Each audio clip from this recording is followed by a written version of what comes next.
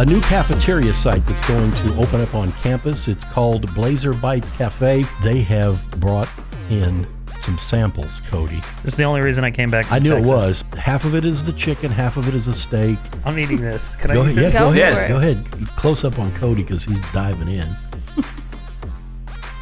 Money.